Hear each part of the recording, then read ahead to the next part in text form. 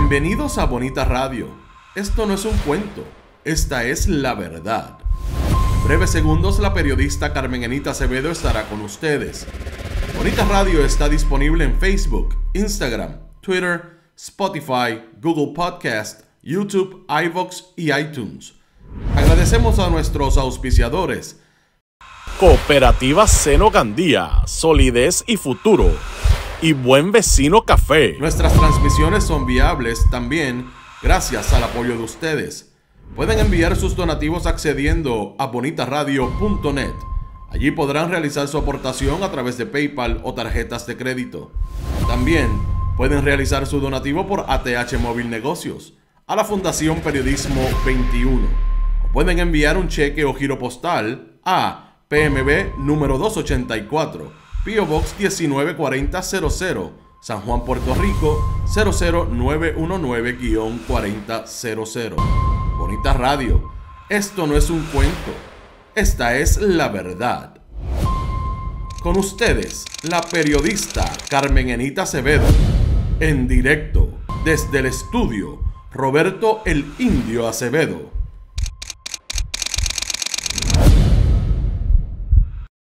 Saludos y muy buenos días, Puerto Rico. Soy Carmen Enit Acevedo y hoy estamos a martes. Entiendo que estamos a 20 de febrero del 2024. Y a esta hora, a las 11 y 3 de la mañana, Bonita Radio se enciende para conversar con ustedes sobre ustedes y de lo que tienen derecho a saber. Y esta mañana definitivamente tenemos que hablar algo de lo que dijo el gobernador sobre los endosos. Pero casi todo el programa se va a ir en una información que hemos amplificado para saber quién es el famoso contratista que a pesar de que facturó, eh, cotizó sobre 20%, 20 más de un trabajo de sellado de techo en San Juan, se llevó la subasta a pesar de que esa no era la recomendación de esa junta de subasta, sobre todo porque no cumplía con los reglamentos o con el reglamento de la junta de subasta. Vamos a hablar mucho del Partido Nuevo Progresista, del Proyecto Dignidad, de Javier Jiménez, su candidato a la gobernación, y de cómo el inversionismo político trasciende a Miguel Romero y llega hasta Proyecto Dignidad. Vamos a hablar de los famosos endosos en el contexto del gobernador y lo que dijo de la credibilidad que tiene la Comisión Estatal de Elecciones. Y definitivamente tenemos que hablar también de lo que está pasando en la rama judicial, porque si hay dinero para los jueces, dicen los empleados, para nosotros tiene que aparecer. Y le llevaron un reclamo directamente a la Junta de Control Fiscal. Era de esperarse, porque si los jueces legislan eh, a través vía judicial a favor de su aumento, los empleados judiciales esperarían que la vara sea de igual medida. Elmer Román y Jennifer González también definitivamente tenemos que hablar sobre el asunto de los endosos porque ya hay investigaciones, hay otro endoso fatulo que se identifica en Jayuya. Wanda Arroyo llegó primero, gracias Wanda por estar. Ileana González está por ahí, José Rodríguez, Luis Javier Ramos Pérez, Juan Carlos Medina, Sandy Hans Santana. También está por ahí eh, nuestra amiga de Michigan, Heidi, Raymond Reyes, Lilian Ferrer desde Chicago, Jorge Díaz, eh, Carla Forestier dice que en, en, Utuado siguen los trabajos de la PR10. Ay, bendito sea Dios. Carmelo, Yuyo González, David Torres, Mariel Gorbea Berrocal, por ahí debe estar mi amiga Erisita Delgado, Yadi Carrasquillo también, Yani Moreno ya mismo viene por ahí, ya mismo la llaman, que a veces se queda dormida. Wilma Fontán, Carles Baratá, Alberto Ramos, Robert Baldwin, yo creo que está por ahí también. Francisco Chévere, Lueli Vázquez Vélez Maite, eh, JLPR, Toñita Valle, saludos Toñita. Que alguien nos explique de dónde sacaron ese nombre de Partido Dignidad. Estos demuestran que la falta de dignidad que existe, aunque demuestren que no la tienen. Está fuerte, que no la hay. José Martínez, Norma Iris, está todo el mundo por ahí. Bueno, vamos a las informaciones y yo quiero empezar. Lo último que vamos a hablar, obviamente, es de la información que quiero ampliar de esa sentencia que emite el tribunal apelativo en contra de Miguel Romero y de la Junta de Subasta, asumiendo la, el tribunal, que esto es bien interesante, adjudicarle a la persona que eh, cotizó menos, que, que estimó y fue a la subasta con menos cantidad de dinero de costo para los eh, residentes y constituyentes de San Juan de ese trabajo, a pesar de que la Junta de Subastas y el eh, alcalde Miguel Romero le adjudicó la subasta al buen amigo del PNP y del Partido Popular, eh, que de hecho tengo que decir que lo encontré y es una persona bastante joven, bien interesante. vamos primero al asunto de la rama judicial. Nosotros la semana pasada, y desde el día uno en que se cuestiona que la rama judicial quiere aumentarse el, salario, que el juez Anthony Cuevas le dio esa posibilidad cuando fue un recurso de la Asociación de la Judicatura eh, por voz de un juez PNP del Tribunal Apelativo y cuyo presidente también es un juez del Tribunal Apelativo, eh, Salgado Schwartz. La Asociación de la Judicatura radica el pleito lo acoge inmediatamente Anthony Cuevas y dice, le da la razón diciendo que sí, que la Junta de Control Fiscal tiene que enviar la, transferencia y la Oficina de Gerencia y Presupuesto hacia la Oficina de la Administración de Tribunales, porque en efecto lo que estaba pasando en la legislatura era que querían dejar fuera a los jueces en términos del aumento para que se aumentara eh, en lo que se aumentaba o condicionado a que se aumentara el salario de los legisladores. En esta controversia ha quedado bastante claro cómo la política partidista en la rama judicial está tan arraigada que el propio juez Salgado Schwartz nunca le dijo al país, nunca dijo públicamente que él había tenido eh, intervención en otros casos, eh, por ejemplo, con relación a violencia doméstica, que inciden en el problema de credibilidad que tiene la rama judicial y siendo, en este caso, el demandante, pues se pueden imaginar los problemas que esto le ha traído a esa asociación de la judicatura. Claro, todo el mundo se puso de acuerdo en el Tribunal Supremo, el caucus del Partido Nuevo Progresista, el mini caucus del Partido Popular, porque con relación al salario, no me toques eso, eso para nosotros es motivo de unanimidad. Sabemos dónde ha estado la jueza presidenta Maite Orono con relación a este asunto. Ha cabildeado efectivamente con un Tomás Rivera Chats y con otros. Lograron vía judicial la legislación, lo que yo llamo la legislación vía judicial, para que se aumentaran esos salarios y hasta el momento estamos esperando que el gobierno de facto, la Junta de Control Fiscal, diga algo sobre ese asunto. ¿Qué hacen ayer? Los empleados de la rama judicial? Pues definitivamente eh, le dicen directamente en una actividad que fueron allí a llevarle eh, la carta a la Junta de Control Fiscal, la Asociación de Empleados Judiciales, que definitivamente la jueza presidenta Maite Oronos no ha priorizado en su necesidad de un mejor salario y que a pesar de que la Oficina de Gerencia y Presupuesto tiene al menos 8.1 millones de dólares para estos aumentos, no ha pasado nada. Yo no soy el que debería estar aquí reclamando, dice el presidente de la asociación, Amílcar Genera, Genera, Gerena, Gerena Román. Aquí quien tenía que estar era la jueza presidenta. Ellos tendrían el respeto que se merecen si estos compañeros los vieran de una manera diferente y hubieran estado aquí con nosotros. Por eso estamos aquí manifestándonos para hacer un reclamo ante la Junta de Control Fiscal y a la Oficina de la Administración de Tribunales, que tiene 8.1 millón de dólares destinados de la OEP para aumento a los empleados y queremos que ese dinero sea enviado inmediatamente al patrono para que los compañeros que fueron impactados negativamente por la implementación del plan de clasificación y retribución sean reconocidos por sus años de servicio. ¿Qué es lo que le está pidiendo Gerena Román en esta manifestación ayer ante la Junta de Control Fiscal al gobierno de facto de Puerto Rico? Pues que el 60% que no ha recibido ese aumento, porque ese plan de retribución y clasificación los impactó negativamente, reciban de ese 8.1 millones el aumento que se merecen.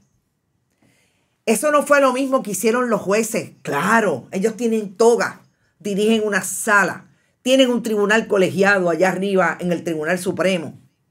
Y ellos mismos, después que Anthony Cuevas le hizo, le tiró la alfombra roja, ellos mismos decidieron, en efecto, aumentarse el salario. Precisamente, la Junta de Control Fiscal tenía un dinero destinado y OGP no había hecho la, la transacción porque determinaron que no iba a ser así en este momento. Necesitaban una legislación.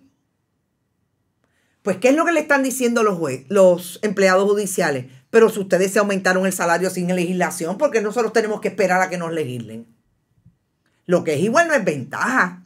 Y ahora, ¿qué va a decir el Tribunal Supremo y el caucus de los dos partidos de mayoría? Eh, vamos a llamarle los dos partidos que históricamente han sentado personas en el Tribunal Supremo y que han dirigido muchas, en muchas ocasiones el país desde esa ideología que cada uno tiene como prioridad. ¿Qué van a decir? Porque ustedes hicieron lo que están pidiendo los, los empleados judiciales. Si nosotros no nos hacen justicia y ahí hay un dinero asignado, pues de ese 8.1 millones saque para priorizar en los empleados judiciales, que finalmente tendrán mucha toga los jueces. No pueden dirigir una sala sin el alguacil, sin la secretaria de sala. No pueden tomar decisiones, algunos de ellos, muchos de ellos, diría yo, en esta etapa, sin un oficial jurídico que les haga el trabajo. Esos también son empleados judiciales. Esto se veía venir. Claro, Sabemos que han sido bien parcos, sobre todo los medios tradicionales, para ir a hablar de lo que está pasando en la judicatura. Pero el periodismo independiente, que solamente le tiembla la mano cuando le va a hacer daño al país, no nos tiembla la mano ni nos tiembla la palabra y la búsqueda de las palabras adecuadas para decirle al país que esto es lo que está ocurriendo en la judicatura de Puerto Rico. Y yo no sé si es que ellos nunca salen de sus casas, yo no sé si es que a ellos les parece que ellos viven en una burbuja y se refugian en, la parguera y se refugian en otros lugares, pero ellos tendrían que salir y los jueces salen. Y la gente sabe quiénes son los jueces. Y esto es lo que le están dejando de fondo a los que vengan y tengan la posibilidad de tener una carrera judicial, que los hay, y estoy segura que los hay. Lo menos que ha pasado en la Asociación de la Judicatura es que se han ido sobre 40 jueces. Han renunciado por todo lo que ha pasado, sobre todo lo que ha pasado con relación a los casos de violencia de género, que la Asociación de la Judicatura no ha dicho ni pío. Pero ¿cómo va a decir algo si el presidente fue parte de uno de los últimos casos de la tragedia, masacre de violencia machista en Yauco?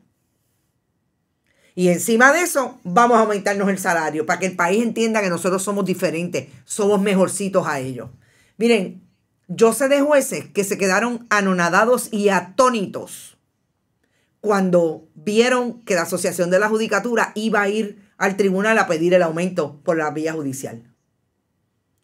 Atónitos. Pero eso no le importa a la mayoría que está allí en el Tribunal Supremo, o perdón, a todos porque ahí sí que hubo unanimidad. Para buscar los chavitos nuestros y que sean muchos más en este momento, ahí sí hay una unanimidad. El concepto que tienen estos jueces sobre la justicia es bien estreñido, dice Rosa González. Compartan. Saludos, Elizabeth Blanc. Siempre está dándole la voz de alerta a su gente que compartan, porque aquí hay buen análisis. ¿De dónde sale tanto dinero para programas del PNP? Otro en radio. Oh, perdón. Eh, voy a hacer un, Voy a interrumpir los análisis que tengo de las últimas dos historias para comentarte eso, Gladys Esther.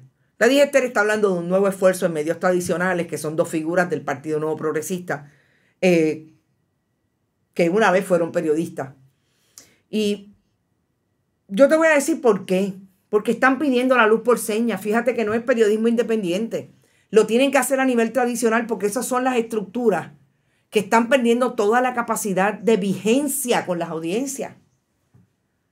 Por eso es que lo hacen, porque estas elecciones son quizás las últimas o los, el último recodo de posibilidad de que tengan vigencia económica con los partidos que han dirigido el país. Y esa es una realidad. Aquí hay una gente que no quiere salir de la zona cómoda, de que le digan, el país está mirando por otro lado, el país necesita otro producto de contenido que ustedes no le dan porque ustedes lo dejaron de dar. Y en esa ecuación, siempre digo que hay responsabilidad de las audiencias porque la gente se acostumbró al baile, la botella, la baraja y el entretenimiento.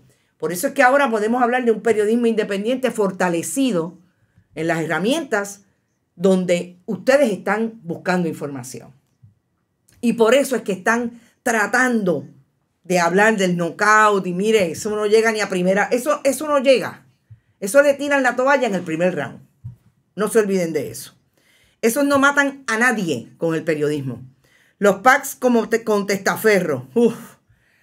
Yo creo que esta semana vamos a hablar mucho del inversionismo político, pero antes de ir allá, yo quiero tocar esta, esta historia que tiene que ver con los endosos lo que el gobernador de Puerto Rico dijo sobre la Comisión Estatal de Elecciones. Ustedes saben que esta semana hemos tenido desde la semana pasada diferentes informaciones que ubican vaciado de listas en la campaña de Elmer Román, eh, candidato o precandidato a la comisaría con Jennifer González, que es precandidato a la gobernación, que asimismo se identificó a otro vaciado de listas en la campaña de William Villafañe. William Villafañe con una gerente de el, eh, el Departamento de Educación en Humacao, que es una persona súper identificada con el Partido Nuevo Progresista, si no, no fuera gerente de la región de Humacao. Todo lo que ha venido saliendo a partir de William Villafañe, en campaña Elmer Román, es lo que Puerto Rico siempre ha conocido a través del Partido Nuevo Progresista y el Partido Popular. Que llegan unas primarias, vacían listas y ya usted sabe lo que pasa con los endosos. Y que vacían listas incluso, incluso a la hora de votar. El gobernador de Puerto Rico ha dicho que es eh, injusto que se hable de, de que hay un problema de credibilidad y de que hay susceptibilidad al fraude en la Comisión Estatal de Elecciones. Él dice que el sistema está muy bien diseñado y que esas manifestaciones están fuera de lugar. Referencia, en referencia a lo que dijo ayer Carla Anglero, que es la comisionada electoral del Partido Popular. En cuanto a los endosos, dice Pedro Pierluisi, el sistema actual lo que provee es que la persona que endosa reciba un texto o un correo electrónico notificándole por lo que tiene la oportunidad de quejarse ahí mismo. Creo que es un periodo de cinco días. Lo que se está planteando es que en el sistema electrónico en cualquier momento se puede ver a quien se endosó. Eso se podría hacer a futuro, pero no estoy viendo tantos incidentes de alegados endosos fraudulentos. Pero gobernador, mire, vamos a organizarnos. Usted dice que es injusto porque el sistema está bien diseñado, pero después dice que el sistema electrónico, tal y como está diseñado en la ley electoral que ustedes apoyaron a pesar de que no fueron ni siquiera vistas públicas. A pesar de que se cuestionaba que las elecciones eran en noviembre, las primarias en agosto y ustedes querían empujarlo en mayo como lo empujaron. Usted dice que está bien diseñado, pero para después decir que en efecto hay que hacer una enmienda, explíqueme. Porque a usted le parece que tres, porque ya se identificaron dos, hay un tercero de una persona en Jayuya. Uno es suficiente para decir que el sistema es vulnerable. Y ese es el que se identifica, gobernador. Usted se imagina los que no se identifican. Pregúntenle a Mindalia Padilla cuántas veces habían vaciado de listas en la, en, en Bayamón. De funcionarios que lo dijeron antes, gobernador, mucho antes de, lo, de que estuviéramos en este momento de las nuevas estrategias digitales, etc. Es una medida muy buena para que cualquiera pueda detectar fraude. La única herramienta que se está hablando a futuro es que el elector en el sistema y pueda ver, entra al sistema y pueda ver todos los endosos que dio. Por eso, gobernador, pues entonces, ¿cómo usted dice que está bien diseñado? Si hay una estrategia que no se ha utilizado y es precisamente que la gente puede identificar cuando le han cogido su información para endosar a alguien. Eso no pasa ahora. Solamente si le envían el, el mensaje de texto o el correo electrónico. Ahí es donde yo creo que el gobernador tiene un serio problema en establecer posiciones desde la fortaleza que parecería que nunca han ido al fil o sencillamente quieren engañar con las contestaciones. Porque el gobernador lleva mínimamente cinco elecciones como candidato, comisionado residente, eh, cuatro elecciones por lo menos. ¿Y qué pasó? No, no entiende cómo esto cambió a partir del nuevo código electoral que hizo, que le hizo toda la, posibilidad a, a, los nuevos movimientos y nuevos eh, candidatos, incluso independientes, casi imposible serlo. ¿Dónde está la democracia? Y encima de eso es vulnerable. O nos vamos a olvidar de los maletines de las elecciones del 2020, gobernador del vaciado de listas y de los encamados en Moca y San Juan. El sistema en la, en la CE está bien si lo que quiere es la trampa y el robo electoral. Por eso Pipo lo endosa, dice Luis Cruz. En Robolandia, gracias a Dios que fue secretario de Justicia y abogado. Imagínate tú, Moisés. El issue no es la tecnología como lo quieren desviar. Exacto, Munrigan.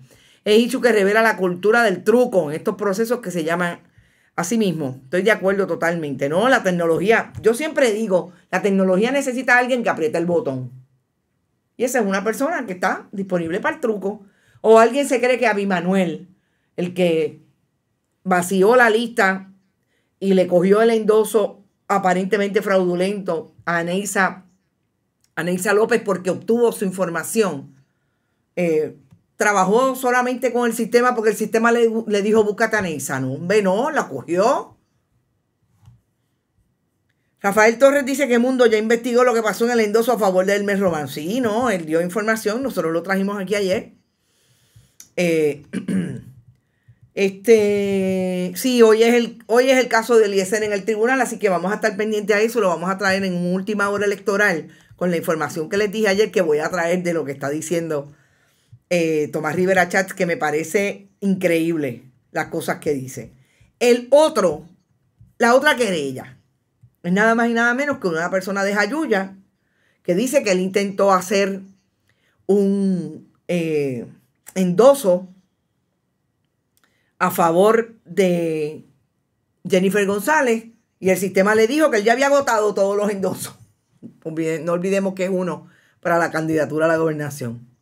¿Pero y qué pasó? Dice el, el, elector, no autoricé ni, ni, firmé endoso adicional al puesto de gobernador, además del correspondiente a Jennifer González. El hombre solicitó en la querella que se le provea copia de cada endoso que aparezca bajo su nombre y que se investigue y se adjudique la responsabilidad electoral que corresponda. Esta es la tercera querella. ¿Cómo es que me dicen? Pues yo no he visto aquí ningún vaciado de lista o fraude relacionado con un endoso a un candidato independiente o a un candidato del Partido Independentista o del Movimiento Victoria Ciudadana, ni incluso de Proyecto Dignidad. Solamente las imputaciones contra el Partido Nuevo Progresista. Esa es la realidad. Alguien que me diga entonces cómo se llama esto. los endosos los recibe la CE como institución, pero quien lo valida son afiliados al partido del, al partido del candidato quien somete el endoso. Exacto, Miguel Martínez. Ese es el detalle. Moisés Montalvo, buenos días. Entre PNB se entenderán. Esto se, esto se va a poner interesante porque ahora yo veo también que sale eh, Jonathan Alemán, que ustedes saben que Edwin Mundo dijo que era la persona que había traído al, eh, empleado de corrección, al guardia penal, a Bimanuel, que es el que hace eh, aparentemente el endoso que Neisa López dice, no, no, conmigo no cuenten, que yo no he endosado ese, a ese muchacho Hermes Román. Y Jonathan Alemán lo escucho diciendo que no solamente él no estaba, que él no participó. Jonathan Alemán, con mucho cuidado, que yo creo que usted tiene un grave problema. Usted fue un testigo federal. Usted está en la misma posición del Cano. Y no le conviene mucho estar saliendo a decir si lo hizo, si no lo hizo. Sobre todo, sobre todo, en un momento en que está tan cuestionado el asunto de los endosos y que usted ha sido una persona que dentro de la administración de corrección con Ana Escobar han llevado como la voz cantante de todos los PNP en esa institución y Ana Escobar ni les cuento, claro, Ana Escobar está con Pedro Pierluisi. Eso es eh, bien interesante. Dice Miguel Ángel Díaz Pagán, mucho ruido y al final no pasa nada. Es parte. Por eso es que yo quise traer también esta imagen, seis segundos del gobernador de Puerto Rico hoy cuando Rubén Sánchez le pregunta si él es honesto. Yo quiero que ustedes le escuchen varias veces para ver si ustedes escucharon lo mismo que yo, que ya se lo le están cuestionando al gobernador en las redes si es honesto o no es honesto. Escúchenlo. Cuestiona eso. Honesto. Exacto. Eso es así. sí, sí lo es. Sí, sin duda alguna. Cuestiona eso. Honesto. Exacto. Eso es así. sí, sí lo es. Sí, sin duda alguna. ¿Cómo es? Honesto. Honesto. Y el gobernador dice, sí, sin duda alguna. Gente, esto yo no lo puse con toda como terminó, pero ya se lo está cuestionando una personalidad de Twitter que trae mucho de estos videos. Y ahí lo pusimos a correr para que la gente nos diga. El gobernador dice que es honesto. Ustedes dirán. Esta gente no tiene límites para delinquir, dice Gladys. Todos son la misma masa sólida. Es el plan para ganar 2024. Llegó y Pipo. Haciendo un esfuerzo sobrehumano para decir la verdad. Exacto, ahorita Guzmán. ¿Cómo olvidarlo? Que eso fue lo que el mismo, lo que el mismo gobernador dijo. Bueno, Moisés Morales Chon dice, esta es la payasada de la semana. Lástima del gobernador del 33%. Honesto, que Pipo se busque un diccionario. Tomás Rivera Chatz es un bocón, dice Ilka, que presenta sus informes para que, que presente sus informes para que le diga al país de dónde sale su dinero. Ay, Ilka, si tú supieras. Bueno, vamos al tema que yo creo que es importante traerlo al final y que hablemos bastante de lo que quiere decir. Y creo que esta es la primera vez, bueno, yo creo que todas las semanas, sobre todo cuando traemos investigación, nosotros hablamos de inversionismo político, porque si hablamos de investigaciones que impactan la manera en que el Partido Nuevo Progresista que está en el poder en este momento hace gobierno a través de los famosos qui pro quo con los contratistas que llenan las arcas del partido en los años electorales. Y cuando no es año electoral, eh, siempre hemos venido hablando de inversionismo político y dijimos que tenemos una investigación que le vamos a dar eh, mucha tela a ese tema, que no la, bueno, ya la completamos, pero no la hemos podido escribir porque nos salió antes lo de Estuve y su familia y lo del pobre muchacho pelado eh, con las tenis de 300 dólares, Francisco Pareja Licea y Omar Marrero. No han dicho ni esta boca es mía. Nada. Pero ahí está la información a partir del informe del Contralor. y esta vez yo busqué información de esta sentencia que se emitió, el compañero Oscar Serrano la compartió hoy, se emitió con relación a una subasta que trajo el gobierno municipal de San Juan para hacer el techo, impermeabilización de techo de eh, el centro de diagnóstico, uno de los centros de diagnóstico, diagnóstico y tratamiento de San Juan. Y lo más interesante de esta sentencia es que dice algo que la suspicacia nos dice que es lo que ocurre en el Departamento de Educación, perdón, la suspicacia cuando vemos este caso. Pero lo hemos comprobado en investigaciones en el Departamento de Educación, en la Administración de Transporte Marítimo, en DTOP, en, el Departamento de Transportación y Obras Públicas. En municipios donde se establece una subasta, se piden los famosos RFP, RFP, todo el mundo cumple y finalmente, o la Junta de de planificación. Cuando viene la adjudicación de la subasta, la adjudicación de la subasta se la dan al que, al que cotizó más. Es decir, uno de, uno de los elementos que era cumplir con la posibilidad de que el costo fuera menor, no se cumplió. Y en ese sentido, el Tribunal de Apelaciones, entre otros el juez Roberto Sánchez, concluyó que el municipio, de forma arbitraria e irrazonable, descartó considerar la propuesta de la recurrente, la cual era aproximadamente 20% más económica que la sometida por la licitadora agraciada. El error del municipio se agrava al considerar que la licitadora agraciada no tiene experiencia alguna en proveer los servicios objeto de la subasta. Contrario al razonamiento del municipio, la propuesta de la recurrente no, no permite duda alguna con respecto a la cuantía licitada, 461.135.85 versus los 553.393 que facturó la que resultó agraciada. Esto surge en blanco y negro de la sección 1.1 de su propuesta. Contrario a la teoría del municipio, esa cantidad corresponde de forma exacta y perfecta con el desglose de costos sometidos por la recurrente. Es decir, en este caso, la corporación All Green Cleaning and Maintenance es la corporación que resultó agraciada.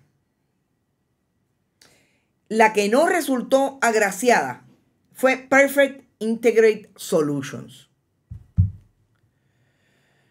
Cuando el Tribunal de Apelaciones dice precisamente, y esta es una imagen de las que All Green tiene en su eh, página de Facebook, cuando el Tribunal Apelativo dice que todo esto se agrava por el hecho de que All Green era no solamente menor, sino que cumplía exactamente con cuando, perdón, eh, el Perfect Integrated Solutions, que cumplía perfectamente con todo lo que se listaba en esa licitación. Recordemos que eso es un proceso, usted hace el RFP, llega a la Junta de Subasta, se hace un análisis y se adjudica la subasta. O sea, esto no es eh, yo escribí, tú me No, no, esto es un proceso que tiene un reglamento, incluso la Junta de Subasta. Se lo pasaron por el forro. Prefer Integrate va al tribunal. Se agrava porque All Green no tenía experiencia sellando o arreglando techos. Pero como quiera, se la dieron a All Green. Este, este proyecto va al tribunal a impugnar esa subasta. Y Perfect Integrate le dice precisamente al tribunal, mire, nosotros fuimos los que menos cotizamos y aún así se la dieron a All Green. Pues entonces, ¿qué uno tiene que hacer? Buscar quién es All Green. Porque All Green, tenemos una información, se incorporó en el Departamento de Estado en el 2012, así como otra corporación, que de esa no vamos a hablar hoy, pero a esa la buscaremos, porque tenemos otra suspicacia con esa otra. El contratista All Green, el presidente se llama Franco J. Cabán Nieves. Franco J. Cabán Nieves. Esta es la foto de Franco J. de Franco Cabán en su página de Facebook. El detalle es que cuando viene, venimos a identificarlo, primero nos parece súper joven. El otro Franco J, el otro Franco J. Cabán Nieves que participa de una actividad, y esto es bien importante porque aquí es como uno puede descubrir. Es en una actividad que el Departamento de Agricultura precisamente le está dando unos incentivos a eh, unos agricultores del área de la montaña. ¿Y quién está? En la famosa actividad y se lista en la conferencia de prensa del Departamento de Agricultura. Precisamente Franco J. Cabán Nieve, que es el caballero de la, del Apolo Verde. Pues definitivamente Franco J. Cabán Nieves, el que está aquí, es el mismo que está en ese super viaje que parece que se dio a Oriente. Franco J. Caban Nieves, yo quiero que ustedes sepan que ha tenido él firmando, él firmando los contratos. En unas veces aparece como presidente y en otras veces aparece como tesorero. Esa es parte, eso es parte de lo que nos crea la impresión de que este Franco Cabán Nieves pueda ser presidente. Por otro lado, el Franco Cabán Nieves que vemos en la foto pueda ser el tesorero. El problema es que no lo encontramos por ningún lado a uno más viejo versus este joven. Franco Cabán Nieves ha tenido 41 millones de dólares en contrato. All Green Cleaning Maintenance con el gobierno de Puerto Rico, incluidos los municipios. ¿Desde cuándo? Desde el 2015. Bien bajitos los contratos entre el 2015 y el 2016.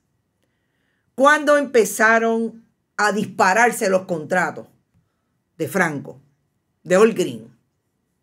2017, Administración Ricardo Rosselló Nevares. 2017, 41 millones de dólares en contratos con, por ejemplo, edificios públicos, la Guardia Nacional, la Administración de Servicios Generales, Departamento del Trabajo, AFI, la Autoridad para el Financiamiento y la Infraestructura Fiscal, los municipios de Camuy, Camuy, Morovis, Dorado, Villalba, San Sebastián, Vega Baja, Barceloneta, Mayagüez, San Lorenzo. Genera Puerto Rico y Departamento de Educación. Vamos a los contratos. Y esto, esto es bien interesante porque fíjense que vamos a hablar, estamos hablando de el eh, municipio de San Juan, que es exactamente eh, Miguel Romero, su alcalde, PNP, ex secretario del Departamento del Trabajo. Vamos a los contratos que tiene en la oficina del Contralor de esos 41 millones de dólares. El más grande, 3.7 millones de dólares con las escuelas. ¿Cuándo? ¿Cuándo? Green, precisamente el 4 de octubre del 2023 tiene una enmienda y el 7 de julio del 2023 tiene eh, otra, eh, fue el primer contrato, 7 de julio del 23 y se enmendó el 4 de octubre. Con el alcalde Miguel Romero tiene, además del contrato, producto de este, eh, de este conflicto a nivel del tribunal, precisamente de 500, no, este es el de impermeabilización, de 554 mil dólares. Específicamente, les digo inmediatamente, en octubre del 22 a septiembre del 23. Departamento, eh, municipio de San Juan. Señor director, eso no es, eso es otro contrato, ese no es el contrato que estamos hablando. Hay enmiendas a contrato. Se le aumentan en algunos casos y en otros casos se queda igual. En el municipio de Camuy hay enmiendas y en el departamento, específicamente en el departamento de educación, hay una enmienda. En octubre hay otra enmienda en uno que también es bien alto. no, en el de 2 millones de dólares no es, eh, no hay una enmienda y este es del 2024 fíjense, al municipio de San Sebastián. Javier Jiménez. Y aquí es que viene la coincidencia, y le voy a llamar coincidencia, en que Miguel Romero, PNP, también tiene contratos, le da contratos al, a Franco Cabán Nieves y Javier Jiménez, PNP de San Sebastián, pero ahora candidato del partido Proyecto Dignidad. También tiene a Franco como eh, contratista. Interesante, porque los 2 millones de dólares del contrato de All Green con el municipio de San Sebastián también fue producto de una subasta. 2.2 millones de dólares. ¿A quién más le da contrato? Y hay un contrato interesante, y quizás vamos a ese, que es un contrato de San Sebastián para comprar e instalar 960 cisternas con unas especificaciones eh, claras. Vamos a la página 3 de ese contrato. 960 cisternas, 975 dólares por cada una y, 875 dólares por instalación, o 900, perdón, 900 dólares por instalación. 960 y este contrato es por 1.8 millones de dólares. El contrato de 2.2 millones de dólares que tiene el municipio con... Eh, oh, oh, esto se pone mejor. Esto se pone mejor. Vamos, eh, déjenme, porque esta sigue, lo acabo de descubrir. El contrato de 1.8, que es el que ustedes tienen en pantalla, eh, aumentó a 2.2 por una enmienda. que estos muchachos son tan realmente no aparece ninguna enmienda, pero como dice, no es 2.2. Ese contrato que ustedes tienen en pantalla, señor director, le voy a enviar la última página del contrato que dice ahora que es de, en lugar de 1.8, es de 700 mil dólares más. ¿Pero por qué? Si este contrato dice que es exactamente el mismo y es igualmente con el municipio de San Sebastián y dice propiamente que es para la cisterna.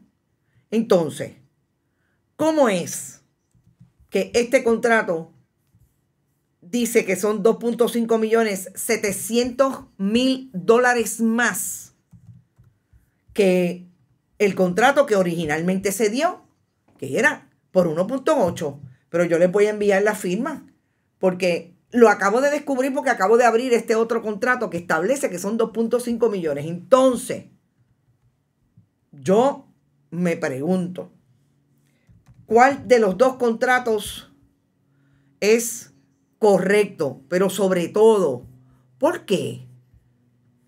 ¿Por qué aquí hay un contrato de 1.8 y finalmente se firma una nueva enmienda? Y les voy a decir cuándo fue que se firmó.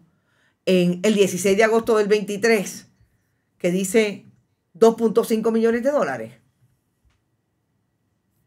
Alguien que me explique si de lo que estamos hablando es precisamente de lo que hemos señalado en tantas ocasiones, que por algo se dan los aumentos y las enmiendas. Esto es todo producto de la Oficina del Contralor y estos son los documentos públicos que acreditan que ese contrato que se firmó por 1.8 no hay ninguna enmienda, pero ahora dice que son 2.5 millones. Y yo quiero que sepan que en su página 3 este contrato dice exactamente lo mismo. 975 dólares, 960, 960 eh, cisternas, 875 dólares por cada una. Y lo voy a verificar nuevamente, que no vaya a ser que le aumentaron el renglón. Eh, no, exactamente lo mismo. 975 y 900. Ah, en este, señor director, y usted me perdona, pero yo le voy a enviar la página que dice exactamente que son 2.5 millones. En este no dice 960. Eh, en este dice que son, que no hay cantidad. En este no pone cantidad. 960 cuando usted suma 975 y 900 le da 1875 y 960 le da 1.8. ¿Qué cambió para que ahora sean 700 mil dólares más? Gente, estas son las cosas que uno las cuenta, que uno las dice, que uno está de frente a la información y se cuestiona. Este es el truco. ¿Dónde está la asamblea municipal? Bendito si son top PNP. Este contrato tiene que haber ido. Dice que fue por subasta. Incluso. ¿Qué fue? ¿Qué fue? Que el primer contrato no fue por subasta. Y cuando le dieron la subasta, le aumentó 700 mil dólares. Estoy descubriendo la información con ustedes aquí. Pero ¿qué es lo interesante de estos contratos millonarios que tiene una corporación que para lo único que supuestamente se ha dedicado siempre desde el 2012 es para recoger escombros, es para limpieza de áreas verdes, etc. Y ahora está haciendo hasta sellado de techo y hasta instalación de cisterna. Es que Franco J. Nieves aparece donándole a Javier Jiménez por un lado, Partido Nuevo Progresista San Sebastián, al Partido Popular y a Proyecto Dignidad. ¿A quién le, le, factura en el Partido Popular? ¿A quién le cotiza? ¿A quién le da trabajo? ¿Quién le da trabajo del Partido Popular? Nada más y nada menos que la alcaldesa de Morovi del Partido Popular, Carmen Maldonado, aquella precandidata al partido, a la gobernación del Partido Popular, y a Carlitos López, el alcalde de Dorado. Bueno, aquí dice Carlitos López Rivera. ah, bueno, la ciudad de San Sebastián es él, obviamente, pero Carlitos López Rivera es el candidato a alcalde de Dorado, que nada más y nada menos lo tiene guisando en el municipio, igualmente con contratos que también tienen enmiendas y las enmiendas son hasta de 50 mil dólares. El team de contratistas Cuca Gómez. Dale, Carmen Enid, sigue buscando, es bíblico, el que busca encuentra. Entonces yo me cuestiono si esta no es la mejor evidencia que incluso llega al tribunal de que utilizan el mecanismo de la subasta lo atornillan para que sea el contratista que le da dinero al partido político el que se lleve la subasta. Y a mí me encantaría hablar con Carlos J. Cabán Nieves, y si me está escuchando, y si me están escuchando en San Sebastián, porque este programa se escucha en la red informativa, que me, que me contacte Carmen Enit a bonitasradio.net, me da un teléfono y yo lo llamo con mucho gusto para que me explique cómo es que con 41 millones de dólares todavía atornillan en el municipio de San Juan y si él sabe por qué lo atornillan. A pesar de que cotizó más. Y yo dije que nosotros íbamos a hablar mucho de financiamiento de campañas políticas porque cuando traigamos la investigación, que espero podamos escribirla hoy y mañana traerla,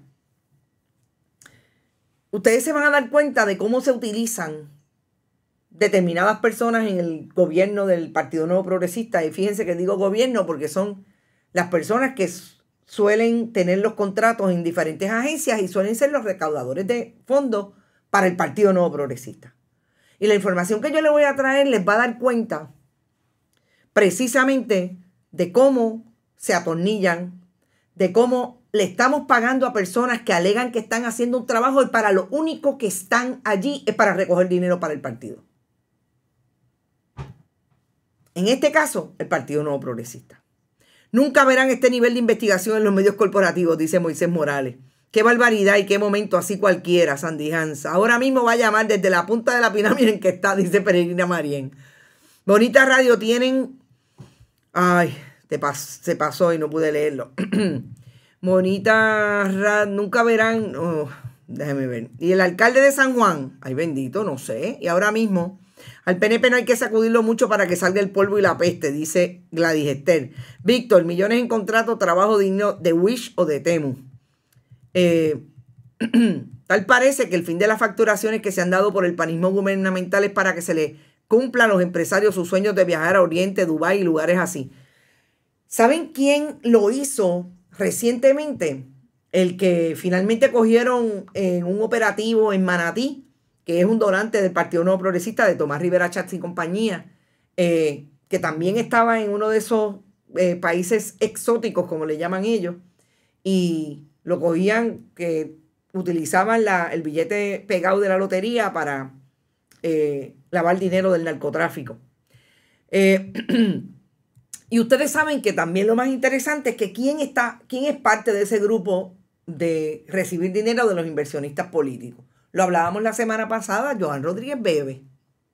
Precisamente con la familia Estuve, que ella criticó tratando de volver a criminalizar a la comunidad LGBTIQ.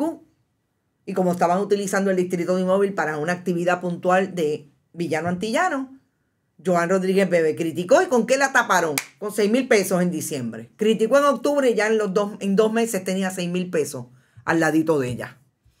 Ahora digo yo, esta es la nueva política que decía Javier Jiménez, eh, el presidente de ese partido de Proyecto Dignidad, Joan Rodríguez Bebe y Lisiburgos, que iban a atender desde Proyecto Dignidad, demasiado parecido al Partido Nuevo Progresista. Y ahí está la historia. No, nadie se lo está inventando. ¿Alguien ha visto a Johnny Méndez? Nadie. Lo están buscando hasta enfajarlo. La bebé está escondida. Dice, eh, dice Jesús M. Salas, bonita radio. Deben de considerar investigar los contratos que Dorado tiene de abogado, que le esconden los trucos y los errores al alcalde. Hay un abogado, hijo de un político, que guisa en muchos municipios. Jesús M. Salas. Tan pronto Bonita Radio tenga por lo menos tres buenos periodistas que los hay y que los necesitamos para hacer investigación, vamos a poder hacer muchas más investigaciones. Ahora, esta que está aquí está sola. Le agradezco muchísimo su, la información, pero en este momento no es posible. Eso va a ocurrir cuando se llenen de anuncios y de auspiciadores que quieren que sus marcas estén donde el periodismo está haciendo el trabajo que el país necesita que se haga para fortalecer nuestra democracia. Eso va a ocurrir cuando ustedes sigan donando como lo hacen de, de acuerdo a sus posibilidades. Yo les aseguro que tan pronto tengamos el poder adquisitivo para hacerlo, lo vamos a hacer. Hay muchos compañeros que quieren hacer periodismo de investigación, que no los dejan en sus lugares de trabajo, pero que aquí siempre los vamos a dejar hacer lo que nosotros sabemos hacer. Investigar, traer información contextualizada, descubrir, porque el país tiene derecho a saber. Nos fuimos. Recuerden, por ahí viene Rodrigo Teroboico con su programa y almuerzo deportivo. No se olviden, pueden donar a través de PayPal, tarjetas de crédito, Bonitas Radio en ATH Móvil, siempre Fundación Periodismo 21 en su ATH Móvil y también PayPal y tarjetas de crédito. Gracias por estar. Nos vemos esta tarde a las 5 en Qué Palo es Noticia y ahorita en última hora electoral. Éxito. Bonita Radio. Esto no es un cuento. Esta es la verdad. Este programa fue traído a ustedes por Cooperativa Seno Gandía, Solidez y Futuro. Y Buen Vecino Café. Y no olvide que puedes realizar sus donaciones a través de ATH Móvil en la sección de negocios como Fundación Periodismo 21. O puede acceder a nuestra página de internet bonitaradio.net y donar a través de PayPal o tarjetas de crédito. También puede enviar cheques o giros postales a nombre de la Fundación Periodismo Siglo XXI, PMB 284, PO Box 194000, San Juan, Puerto Rico 00919-4000. Bonita Radio, esto no es un cuento, esta es la verdad.